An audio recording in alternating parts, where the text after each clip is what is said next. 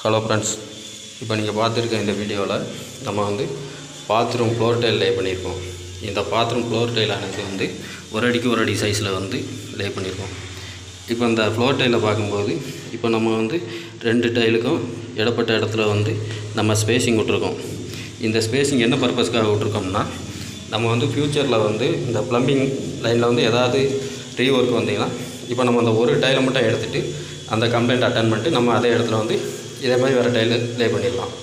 இப்போ நம்மளுக்கு வந்து இந்த ஸ்பேசிங் வைக்கலைன்னா நம்ம அந்த இடத்துல வந்து கூட ரெண்டு மூணு டைலு தான் உடச்சி எடுக்க வேண்டியிருக்கும்.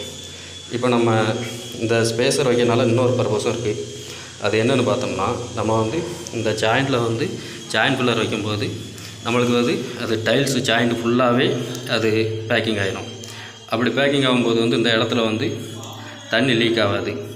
இப்போ இது வந்து லைஃப் லாங் ஸ்ட்ராங்காகவே இருக்கும்.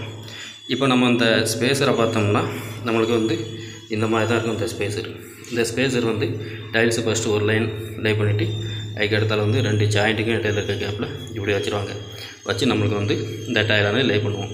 இப்படி டைல் லே பண்ணிட்டு நம்ம வந்து பாயிண்டிங் பண்ணும்போது நல்லா ஸ்ட்ராங்காக இருக்கும்.